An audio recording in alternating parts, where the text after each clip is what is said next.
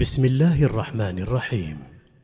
المكتبة الصوتية لمعالي الشيخ الدكتور صالح ابن فوزان الفوزان. أضواء من فتاوى شيخ الإسلام ابن تيمية في العقيدة للشيخ صالح بن فوزان الفوزان حفظه الله. الدرس الثامن والعشرون بعد المئة الثانية. الحمد لله وحده والصلاة والسلام على من لا نبي بعده نبينا محمد وآله وصحبه وبعد. يقول الشيخ رحمه الله في معرض كلامه عن الإسلام والفرق بينه وبين الإيمان قال والمقصود أن الله أمر بالدخول في جميع الإسلام فكل ما كان من الإسلام وجب الدخول فيه فإن كان واجبا على الأعيان لزمه فعله وإن كان واجبا على الكفاية اعتقد وجوبه وعزم عليه إذا تعين. وإن كان مستحبا ف... وإن كان مستحبا فعله اعتقد حسنه وأحب فعله. في حديث جابر أن رجلا قال يا رسول الله صف لي الإسلام. قال تشهد أن لا إله إلا الله وتقر بما جاء من عند الله وتقيم الصلاة وتؤتي الزكاة وتصوم رمضان وتحج البيت. قال أقررت. في قصة طويلة فيها أنه وقع في أخاقيق جرذان وأنه قتل وكان جائعا وملكان يدسان في شدقه من ثمار الجنة. فقوله وتقر بما جاء من عند الله هو الإقرار بأن محمد رسول الله فإنه هو الذي جاء بذلك. وفي الحديث الذي يرويه أبو سليمان الداراني حديث الوفد الذين قالوا نحن المؤمنون قال فما علامة إيمانكم؟ قالوا خمس عشرة خصلة. خمس أمرت أمرتنا بها رسلك أن نعمل بهن وخمس أمرتنا رسلك أن نؤمن بهن بهن وخمس تخلقنا بهن في الجاهلية.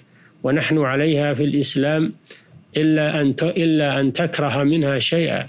قال فما الخمس التي أمرتكم بها رسلي أن تعملوا بها؟ قالوا أن نشهد أن لا إله إلا الله وأن محمد رسول الله ونقيم الصلاة ونؤتي الزكاة ونصوم رمضان ونحج البيت. قال وما الخمس التي أمرتكم أن تؤمنوا بها؟ قالوا أمرتنا أن نؤمن بالله وملائكته وكتبه ورسله والبعث بعد الموت.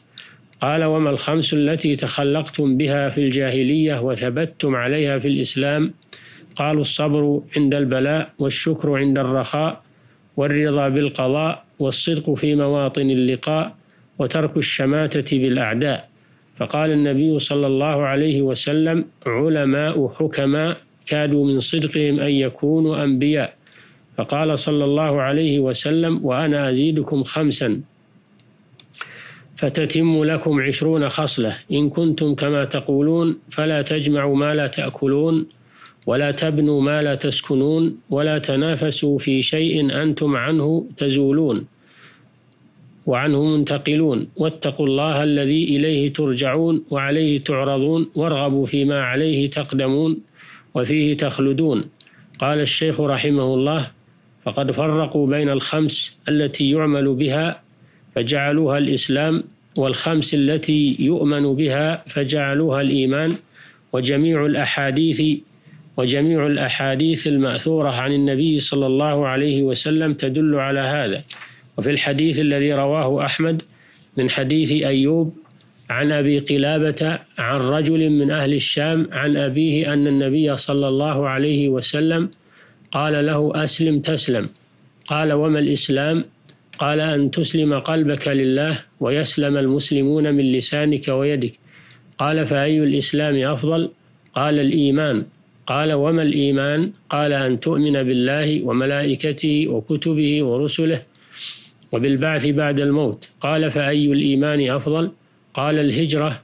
قال وما الهجرة؟ قال أن تهجر السوء. قال فأي الهجرة أفضل؟ قال الجهاد. قال وما الجهاد؟ قال أن تجاهد الكفار إذا لقيت إذا لقيتهم ولا تغل ولا تجبن ثم قال رسول الله صلى الله عليه وسلم ثم عملان هما أفضل الأعمال إلا من عمل بمثلهما. قالها ثلاثا حجة مبرورة أو عمرة.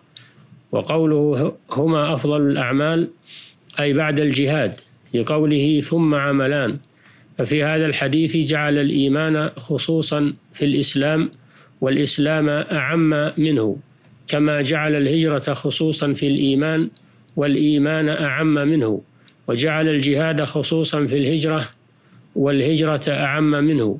فالإسلام أن تعبد الله وحده لا شريك له مخلصا له الدين وهذا دين الله الذي لا يقبل من أحد دينا غيره لا من الأولين ولا من الآخرين ولا تكون عبادته مع إرسال الرسل إلينا إلا بما أمرت به رسله لا بما يضاد ذلك فإن ضد ذلك معصية.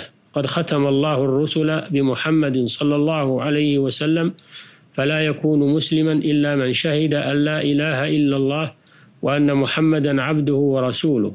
وهذه الكلمة بها يدخل الإنسان في الإسلام.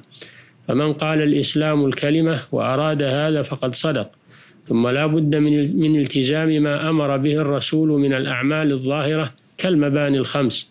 ومن ترك من ذلك شيئا نقص إسلامه بقدر ما نقص من ذلك.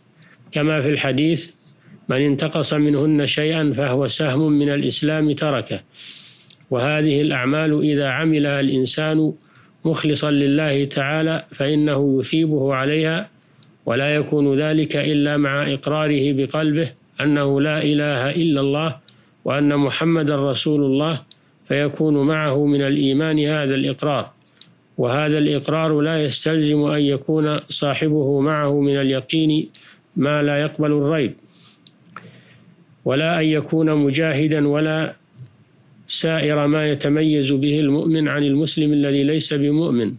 وخلق كثير من المسلمين باطنا وظاهرا معهم هذا الإسلام بلوازمه من الإيمان ولم يصلوا إلى اليقين والجهاد. فهؤلاء يثابون على إسلامهم وإقرارهم بالرسول مجملا. وبهذا تنتهي هذه الحلقة فإلى الحلقة القادمة بإذن الله. السلام عليكم ورحمة الله وبركاته.